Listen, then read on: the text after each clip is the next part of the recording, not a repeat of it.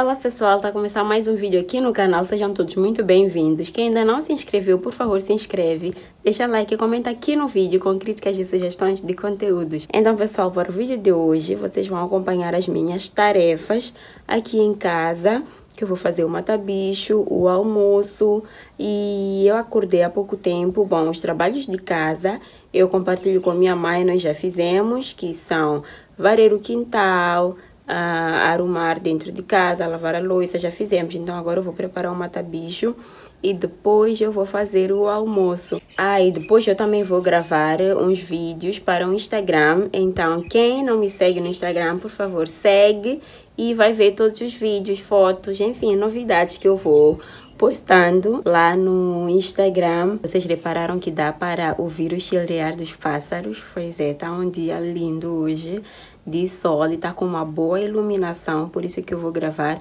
um vídeo para o Instagram. Eu gosto de gravar assim no período da manhã, quando tá aquela iluminação boa mesmo. E eu gosto tanto de ouvir o barulho dos pássaros a chilrear, principalmente naquele tempo em que eu passei lá em casa dos meus avós, lá em Ambani. Eu mostrei para vocês.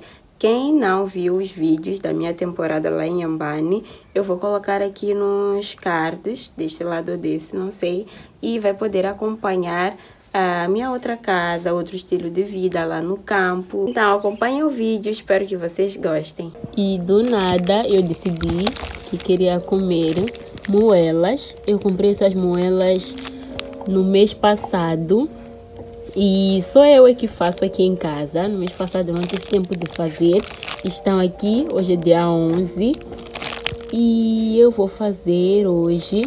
Eu queria fazer só ovo frito e salada de pepino, mas eu quero moela também, porque deu vontade.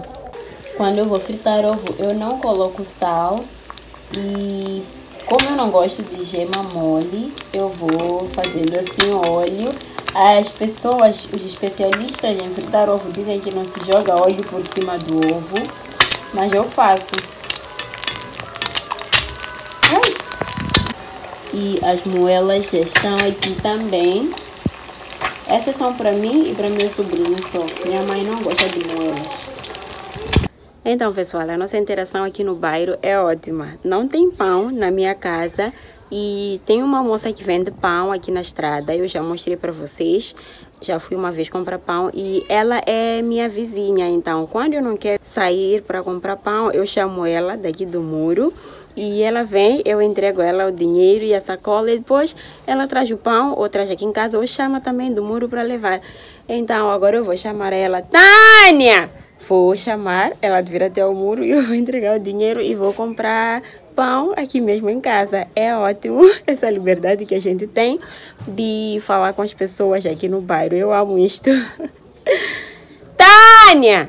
Então, já fui no muro levar a sacola de pão sem que eu precisasse sair de casa. Então, pessoal, tem vezes que eu gosto de comer na panela. Então, eu servi aqui na panela não sei, será que aquela superstição de que quando a gente come na panela vai chover no dia do nosso casamento é só para homens ou para mulheres também? Não sei, mas eu gosto. Eu gosto de comer na panela e vou comer na panela. Então já tenho aqui a couve, aquela coisa de cortar na mão. Me cortei hoje. E quando a gente corta a couve, a unha fica verde. Eu vou fazer o arroz Agora quero mostrar para vocês uma coisa que espantou a todos aqui em casa. Olhem para esta botija de gás tão nova, bem pintada. É a primeira vez que a gente recebe uma botija tão bonita aqui em casa que todo mundo que entra aqui na cozinha fica tipo, uau, que botija nova, linda. Seria bom se fosse sempre assim. Uma coisa que a gente faz questão de ter aqui em casa é o amendoim pilado, porque facilita sempre na hora de cozinhar. Por exemplo, agora eu tenho que cozinhar depois de ir ao trabalho, então se fosse para pilar amendoim, daria... Ai, é uma coisa que eu não gosto, não gosto nada de pilar amendoim. Então o amendoim já fica assim guardado e facilita a minha vida. Então pessoal, a couve já está aqui pré-cozida e eu quero mostrar para vocês um truque que eu uso para que ela não fique amarga. De certo que alguns de vocês já provaram uma couve que depois sentiram assim um amargo. Então eu vou vos mostrar o que eu faço para evitar que a minha couve fique amarga. Então, o truque é o seguinte: eu tiro a couve da panela, coloco numa outra panela ou numa outra vasilha, depois passo água fria e aí eu vou apertar bem para tirar toda aquela água que é amarga. E a minha mãe que ensinou este processo, eu sempre faço a couve assim.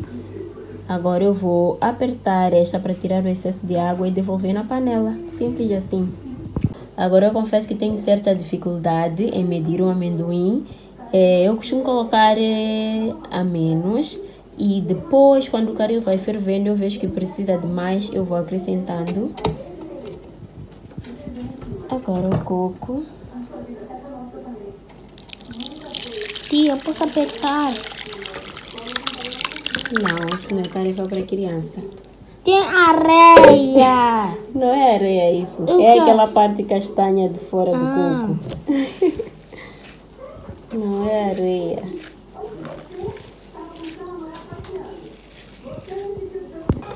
Tem gente que além de cebola coloca também tomate, mas eu prefiro colocar só cebola. Eu quero por tudo. Põe lá. Afasta. Yeah. Ui. Sal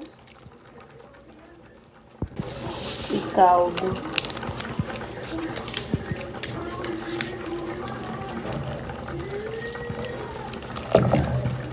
A few moments later. Pessoal, vocês lembram do dia que eu mostrei como minha mãe fez aquela chima? Pois é. Ela foi na machamba, naquele tempo da colheita, e olha só o tanto de milho que nós temos aqui em casa. Primeiro temos que peneirar e depois mandar para moagem, porque agora ela não quer fazer aqui em casa. Temos milho para dar e vender. Então, estou aqui já a engomar o vestido. Quando eu vou gravar os vídeos para o Instagram, eu preparo as roupas e engomar faz parte do processo para que elas fiquem mais bonitas nos vídeos, para que valorizem mesmo. Já está. Agora vou gravar.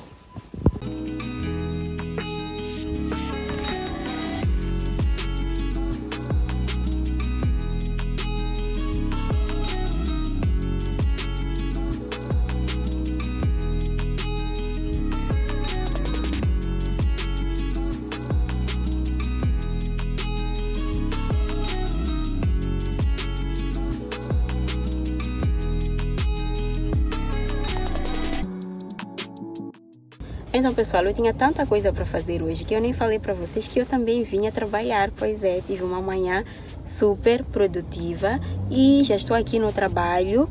E aqui onde eu estacionei, já comentei com vocês que tem algumas avenidas que tem o estacionamento pago até uma certa hora, porque se a gente estaciona e não paga, o município, quando passa para fazer a espécie de vistoria das viaturas que pagaram ou não, eles vão bloquear o carro e depois terá que pagar uma multa. Ai, eles vão bloquear o carro e depois terá que pagar uma multa para que eles possam desbloquear.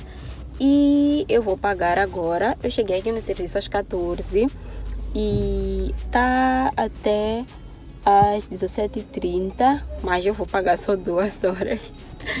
Eu vou pagar duas horas, seja o que Deus quiser.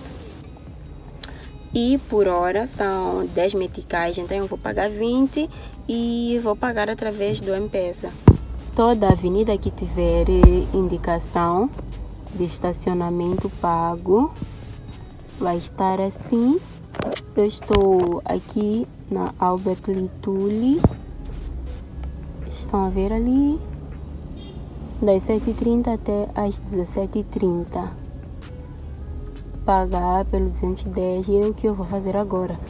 E naquela avenida lá, a Fernão Magalhães ainda não está a funcionar isso. Então, se eu tivesse achado um lugar para estacionar lá, eu poderia ficar sem pagar o estacionamento. Estão ver aí na Fernão Magalhães.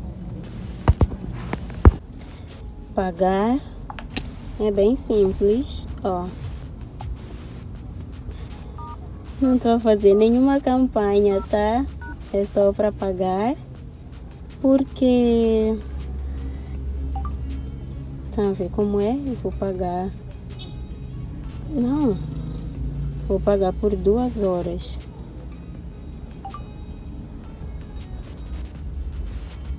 Hoje...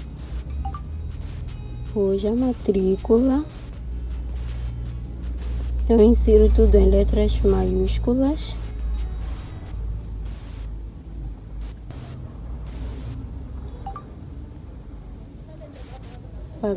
Ah, 60 meticais? Acho que eu fiz alguma coisa de errado. Vou iniciar o processo.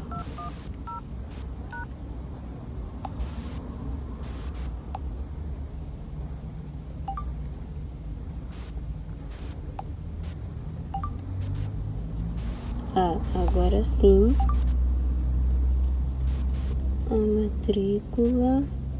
Então, pessoal, assim foi mais um vídeo aqui no canal. Eu espero que vocês tenham gostado. E olha, eu tô com a pasta de costas. Eu já disse pra vocês que eu gosto muito de usar pasta de costas no meu dia a dia. Então é isso, eu espero que vocês tenham gostado. A água também, que nunca falta, principalmente nesse calor, meu Deus. Eu espero que vocês tenham gostado do vídeo. Beijo pra vocês, até a próxima.